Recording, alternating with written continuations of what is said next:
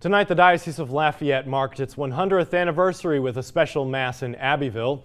And as Justice Henderson reports, the church is celebrating the milestone and its people. The story, new tonight at 10. Like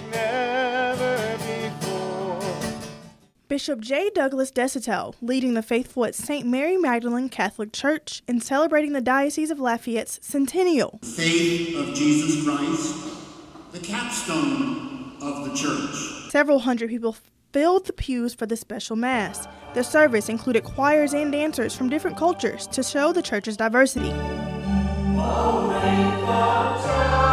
Members of the congregation said this milestone is one they're thankful to celebrate. Well, I think it just shows the faithfulness of our church, actually the strength of our church, that no matter the economic hard times or the struggles that society is going through, our church is still sustaining.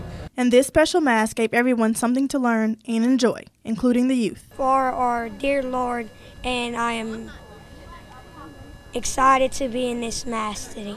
I'm excited to be here at Mass today because I want to learn about God and um, and Mary and, and Jesus. In Abbeville.